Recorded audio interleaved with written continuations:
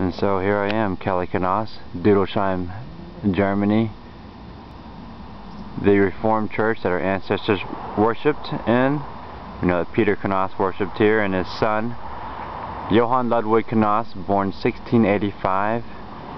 Also baptized the year he was born, 1685, in this church, Reformed Church of Dudelsheim. The right section of this church is the original part of the church. The left section is a, is a little bit uh, newer, but still uh, very historic.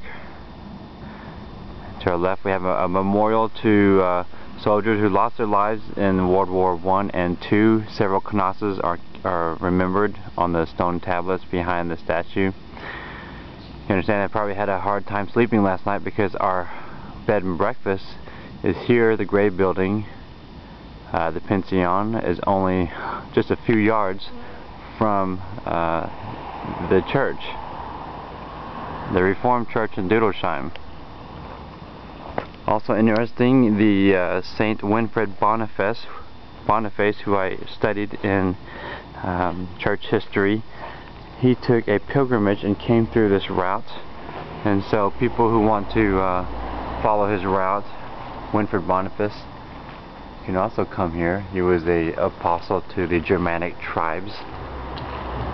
And so he has a route here, and sometimes people stop here at the Pension on their uh, journey or pilgrimage to Winfrid Boniface's um, uh, path. And so there we have it. It's just like sacred ground. I can't believe it.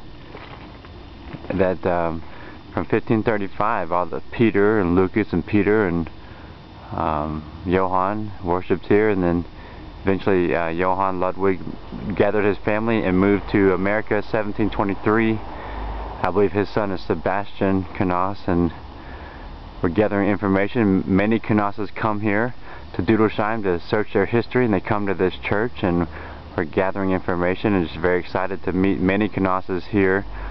Um, there's a graveyard behind us and there's several Knauses gravestones but they're recent. Um, every 25 years they have to replace um, the gravestones and the um, remains to make room for others since it's a very small cemetery in Dudelsheim, uh, Germany. Budingen would be the heart of the city. We went there last night. It's a very medieval town, old, 14, 1500s, 1600s, 1700s. Uh, absolutely incredible.